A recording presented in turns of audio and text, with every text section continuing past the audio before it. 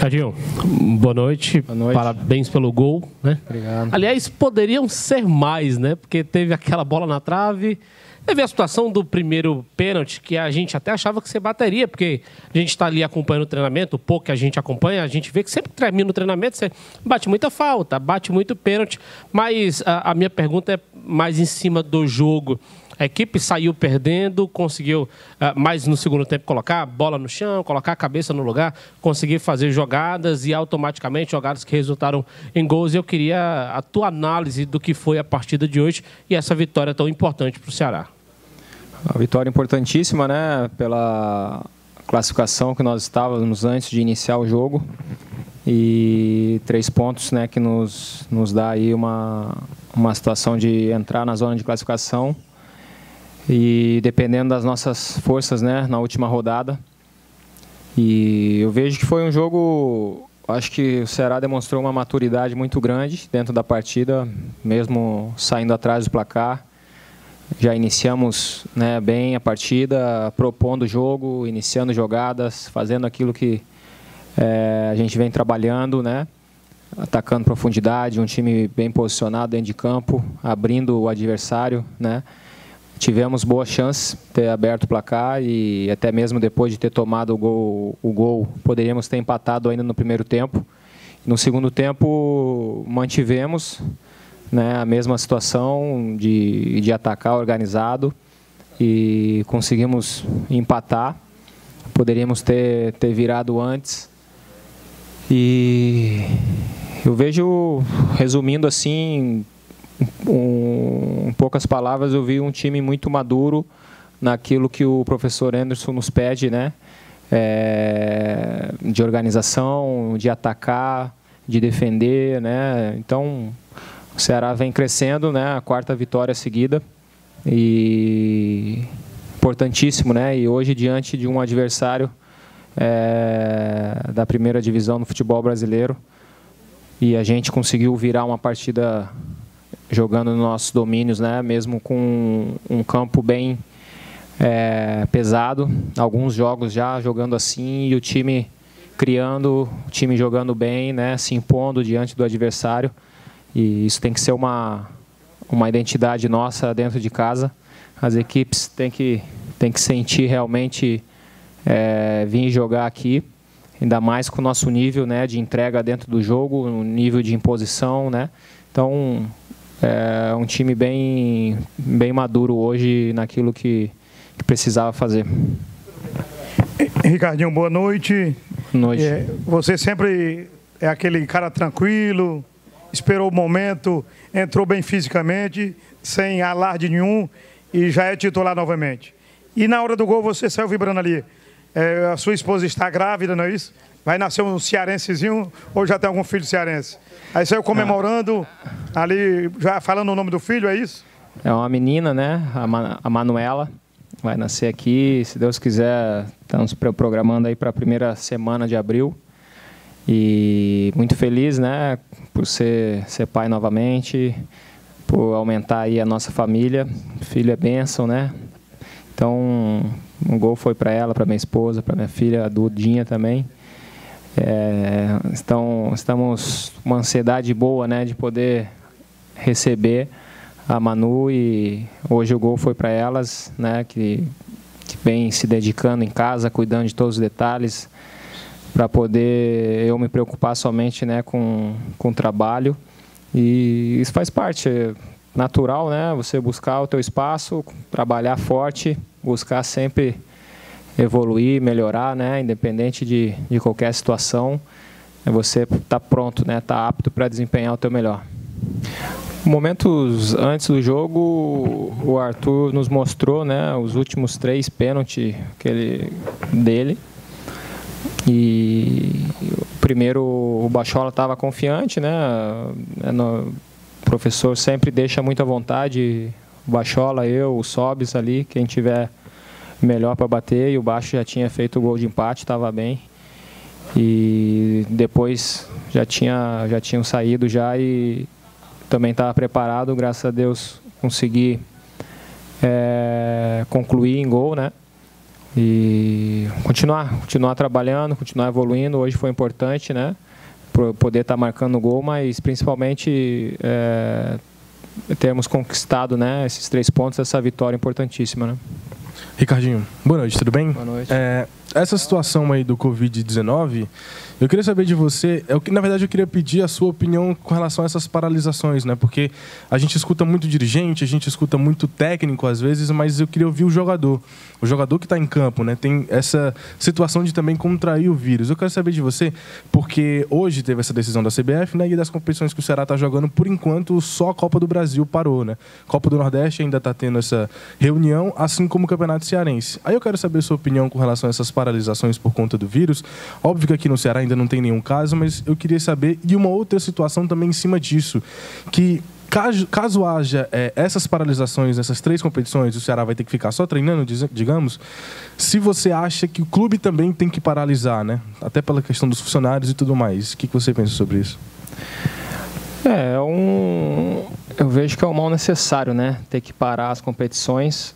É, acho que é importante nós nos prevenirmos, né? Relação a isso, tu vê grandes é, países, grandes ligas aí parando tudo, esperaram, né, ter alguma uma primeira situação para poder resolver parar e por que não já nós aqui é, optar por isso, né, ao invés de de aparecer alguma primeira algum, algum alguém já e a gente ter que parar só depois. Então vamos precaver. Eu vejo que é, é importante, né? O principal é a saúde de cada um e principalmente cada um se cuidando, fazendo a sua parte, né? De se higienizar, né? Tá com álcool, lavando as mãos direto.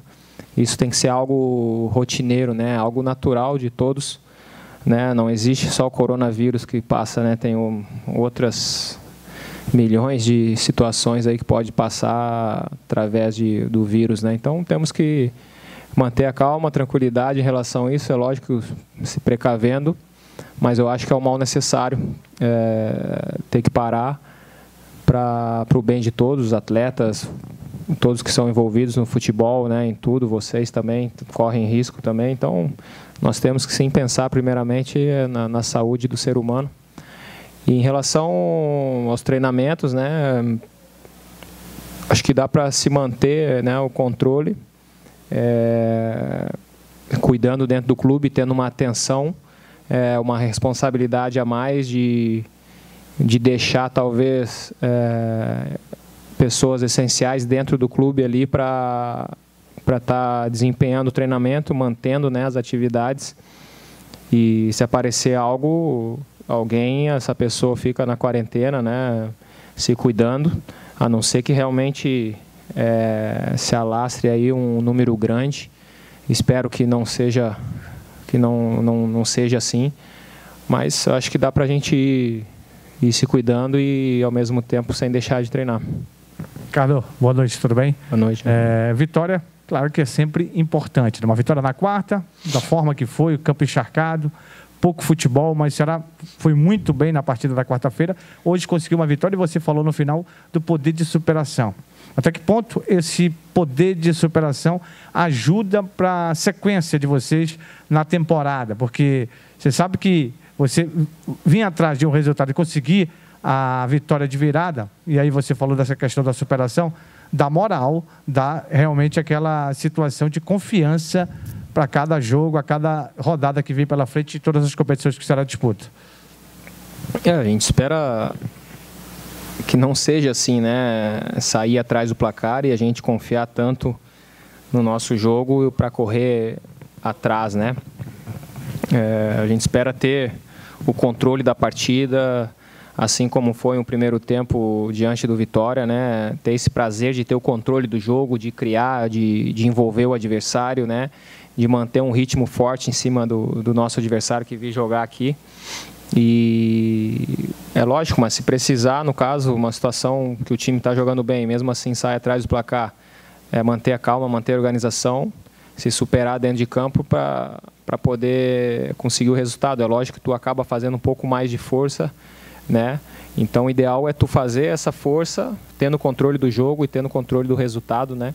Sem precisar sair atrás do placar e para ter que se desgastar o dobro, né, para conseguir o resultado.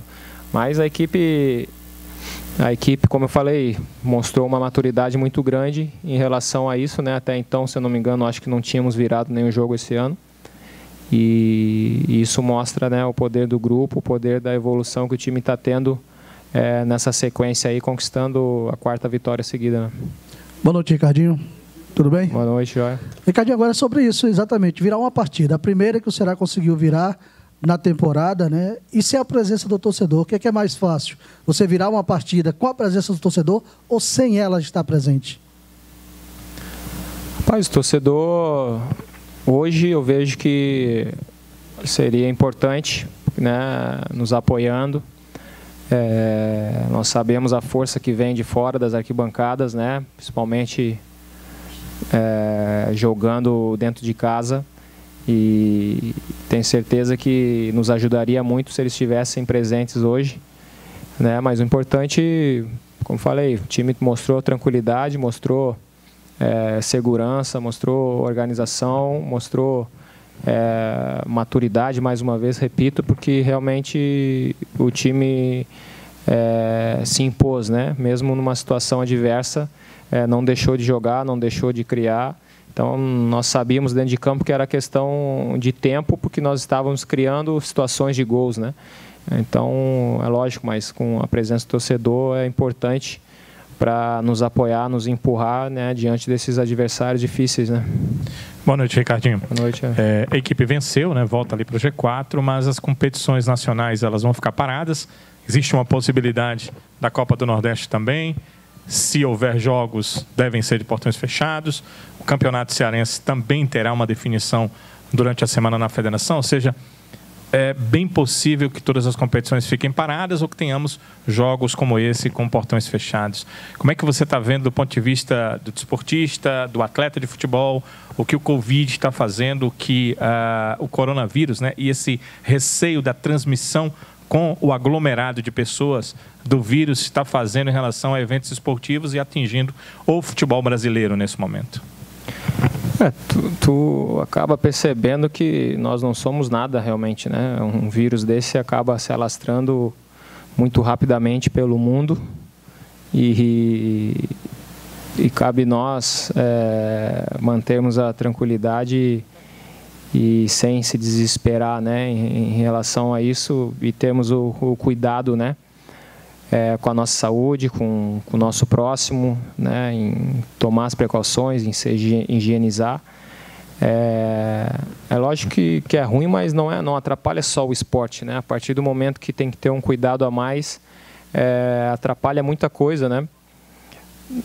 É, são eventos em outras situações, são restaurantes, talvez, são tudo, tudo que onde tem é, muita gente, muitas pessoas, tu corre o risco, né? Então, não é só o esporte. É, eu vejo que acaba atrapalhando um todo, né? E temos que continuar, continuar é, vivendo sem, no, sem ter medo de, do, do vírus. É lógico que, que atrapalha né, a sequência, principalmente né, a gente vendo o nosso ponto de vista da equipe numa sequência muito boa.